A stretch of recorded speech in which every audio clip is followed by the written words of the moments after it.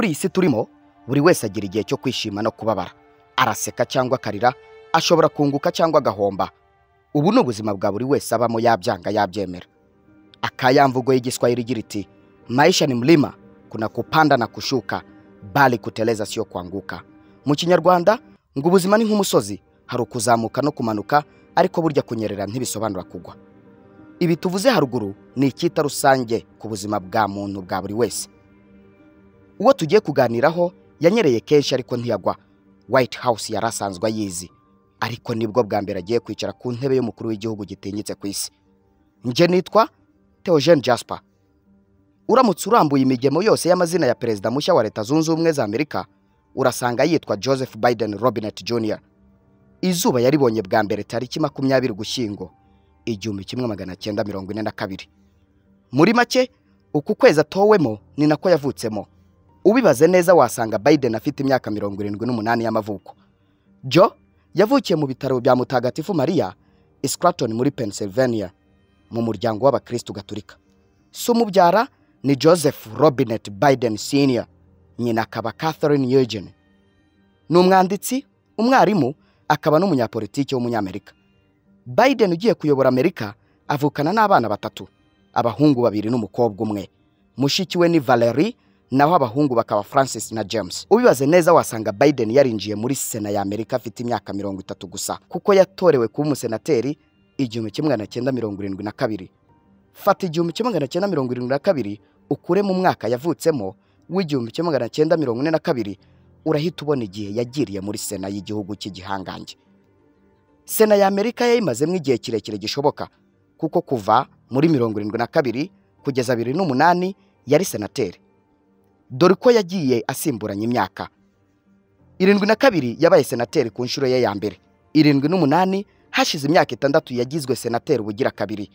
Igihumbi kimwe magana cyenda mirongo inani na kane agirwa senateri. Muri mirongo icyenda aba senateri icyenda gatandatu yongera kugirirwa icyizere aba senateri muri bibiri na kabiri agirwa senateri kugera bibiri n'umunani ari senateri. Uyu mugabo yamaze hafi kimwe cya kabiri cy'imyaka ye ari senateri wa leta zunze ubumwe za amerika. Akiva muri sena yahise asingira umwanya wa visi perezida wa mirongo ine na karindwi wa amerika. Kuva bibiri n'icyenda kugera bibiri na cumi na karindwi yari visi perezida ku butegetsi bwa barack hussein obama. Jo ni umunyamuryango w'ishyaka riharanira demokarasi democratic party. Biden yavutse asanga umuryango we uri mu bukene nyamara siko byahoze kuko se yari umukire w'umucuruzi mbere y'uko avuka. Birumvikana ko byatumye akura adafite amikoro. Nta bije y'amatora yagiraga.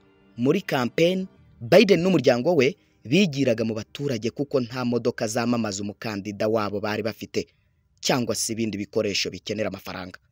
Muri make bigiraga kuri tere ariko burya ngo imana iyo igukerereje iragutegera impamvu y'ibi ni uko ubu tuvugana biden ari we perezida wa leta zunze ubumwe za amerika. Biden akiri muri sena yari umunyamuryango wa komite ishinzwe ububanyi n'amahanga. Icyo gihe hari ibikorwa bikomeye yakoze. Nko kurwanya intambara yo mu kigobe mu gihumbi kimwe magana cyenda mirongo icyenda na rimwe. Gushyigikira kwagura ubumwe bwa nato mu burayi bw'iburasirazuba. No kugira uruhare mu ntambara ya yugoslavia yo mu myaka ya za mirongo icyenda. Yashyigikiye icyemezo cyemerera intambara yo muri iraq bibiri na kabiri. Yayoboye kandi komite y'ubucamanza ya sena kuva mu gihumbi kimwe magana cyenda mirongo inani na karindwi kugeza muri mirongo icyenda na gatanu. Yita kuri politiki yo gukumira ibiyobyabwenge n'ibibazo by'ubwisanzure bw'abaturage. Yayoboye umuhate wo gutora itegeko rigenga ubugizi bwa nabi no kubahiriza amategeko mu ihohoterwa rikorerwa abagore. Nyuma y'iraswa ry'ishuri ribanza rya Sandy Hook yayoboye umurimo wo kurwanya ihohoterwa rikorwa hifashishijwe imbunda. Dore akayabo k'ibihembo Joe Biden yahawe. Mu myaka igiye itandukanye yahawe impamyabumenyi z'icyubahiro na kaminuza zitandukanye. Kaminuza ya Scranton yitwa St Joseph University Widener University School of Law. Trinity College of Dublin n'izindi. Muri bibiri n'icyenda kosovu yahaye biden umudari wa zahabu w'ubwisanzure. Ku itariki ya cumi na kabiri mutarama bibiri na cumi na karindwi obama yatunguye biden maze amuha umudari wa perezida twakwita umudari w'ubwisanzure. Kubera icyizere mu banyagihugu gukunda igihugu ndetse n'uburambe ku mirimo ye.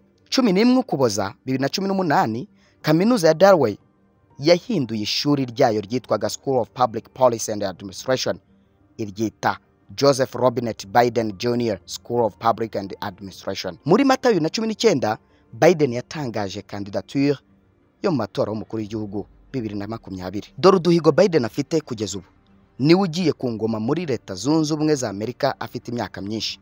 Imyaka mirongo irindwi n'umunani y'amavuko. Ikindi kuva amerika yabaho ni we utowe n'abaturage benshi kurusha abandi baperezida bamubanjirije. Reka tugaruke ku buzima bwa biden hanze ya politiki. Burya ngo yari azi guconga ruhago kandi akanakina umukino wa baseball. Muri acmere academy i claremont biden yari umukinnyi w'inyuma kandi wakinaga neza cyane. Biden akiri ku ntebe y'ishuri ngo yagiraga indwara yo kudasohora amajwi neza yitwa sitata cyangwa sitama mu rurimi rw'icyongereza. Mu kinyarwanda wayita kudidimanga. Mu kuyirwanya yafashe umwanya wo gusoma umuvugo muremure imbere y'indorerwamo. Mu rwego rwo kuyitsinda. Biden ntabwo anywa inzoga kuko burya ngo mu muryango we abasoma ku gatama barahagije. Ku ya makumyabiri na karindwi kamena igihumbi kimwe magana cyenda mirongo itandatu na gatandatu biden yashakanye na naila hunter nyuma y'amakimbirane mu muryango we kuko batashakaga ko ashyingiranwa n'uyu mwari yari yarihebeye. Naila na biden babyaranye abana batatu. Joseph robinet bob biden robert hunter biden na naomi christina amy biden. Mu gihumbi kimwe magana cyenda mirongo itandatu n'umunani biden yabonye impamyabumenyi ihanitse mu mategeko muri kaminuza ya syracuse. Ku ya cumi n'umunani ukuboza igihumbi kimwe magana cyenda mirongo irindwi na kabiri umugore wa biden naira n'umukobwa wabo amy biden wari umaze umwaka umwe gusa abonye isi. Baguye mu mpanuka y'imodoka yabereye i hawkinson muri delaware. Uru rupfu rwashegeshe biden ku buryo bukomeye. Abahungu ba biden ari bo bo na hunter baravunitse ndetse baranakomereka mu mutwe.